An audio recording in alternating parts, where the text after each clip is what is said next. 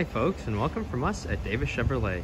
Today we'll be doing a quick walkthrough of one of our brand new 2022 Chevrolet Silverado 1500s.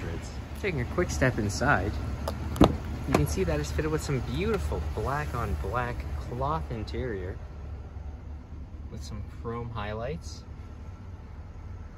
and this cool wood grain accent going on.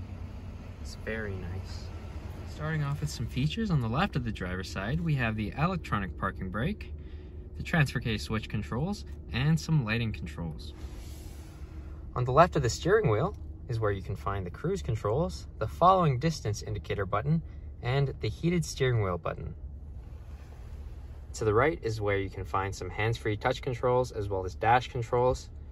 And that leads us down into the dash. Moving from the dash to the center console, you can see that infotainment touchscreen system as you can see, here's some of the features that you can access throughout there. Something that's nice about this one is it has an option to have two applications open at the same time. So as you can see, you can access your settings or any other application you choose and have your clock on at the same time or say your maps when you get that loaded. It's pretty intuitive. Below that, we have some more features like lane keep assist, auto stop start. Below that is where you can find some climate controls. Yes, there are heated seats. And to the right of this whole system are some plugins. Here's the gear shift, as you can see. And over here is the wireless charger. Taking a quick peek above, you can see the OnStar blue button and the SOS button. And taking a step in the back, you can see more of that beautiful interior.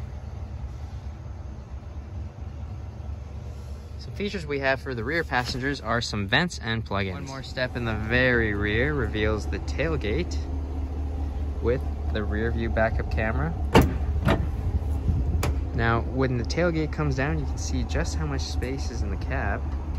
It's very nice. Has that Chevytec spray and box liner and a very nice blacked out emblem at the back. And that's pretty much it. So thank you folks for joining me on my quick walkthrough of one of our brand new 2022 Chevrolet Silverado 1500. If you have any questions or concerns or want to view this vehicle in person, please feel free to contact us.